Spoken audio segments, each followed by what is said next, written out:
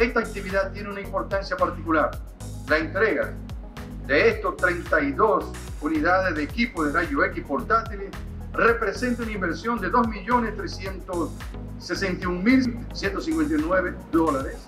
No saben el dolor de cabeza que le quita a un director de hospital ese equipo.